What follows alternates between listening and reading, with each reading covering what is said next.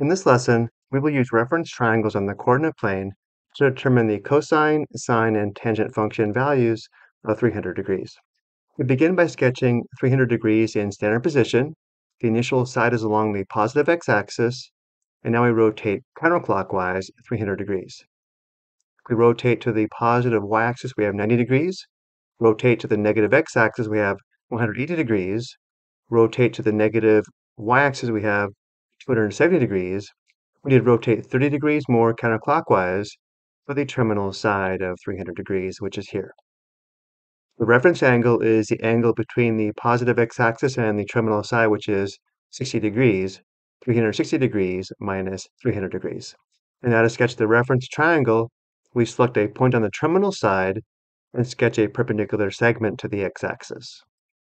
Again, the reference angle is 60 degrees, which indicates our reference triangle is a 30, 60, 90 reference triangle.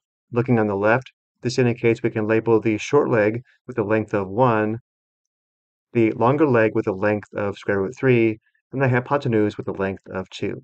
However, because we're in the fourth quadrant, where x is positive and y is negative, we label the short leg positive 1, the longer leg negative square root 3, and the hypotenuse 2. Again, this is because in the fourth quadrant, x is positive and y is negative. And now we use the reference angle and reference triangle to determine the trig function values. Cosine 300 degrees equals the ratio of the adjacent side to the hypotenuse, which would be 1 divided by 2 or 1 half.